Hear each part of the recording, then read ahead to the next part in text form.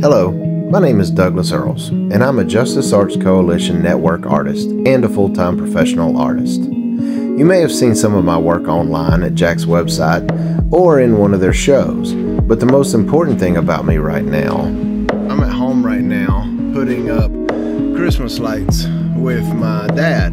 Whoever invented these icicle lights is a sick and twisted person. There's the elf. It's writing down that I'm being a good boy the key thing that I said was that I'm at home right now.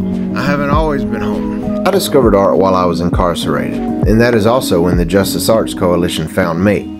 They became a major source of support and hope for me. Hope. That means everything to someone on the inside. They also helped me get my art out there. To know that people were seeing my art and that it meant something to them was a major confidence boost.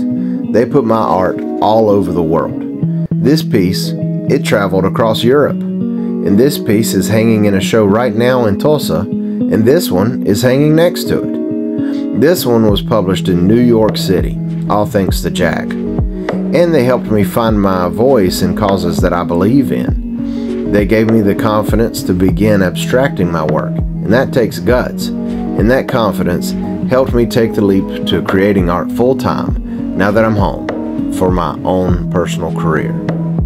Am I making money? Not really, but I plan to. Unless you've been incarcerated or you have someone you care about in there, it's hard to know how much that personal touch from someone can mean. When I would receive a letter at mail call from JAC, I would rush to my room, overjoyed. Sometimes it was a letter from someone to say how much they enjoyed my work. Sometimes it was an opportunity to show my art that JAC wanted to share with me. Sometimes it was even images of my art on display, with people viewing them and soaking them up. It made me feel human, like a person. It made me feel valued, like I meant something, and I wasn't just a number. And that was everything. Your support for the Justice Arts Coalition helps make people feel loved.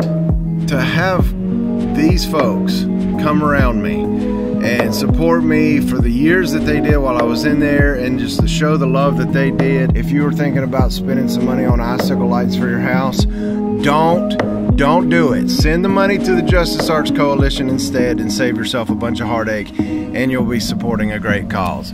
So, also that tree's really pretty. And there's dad too saying bye. I'm gonna enjoy being home again.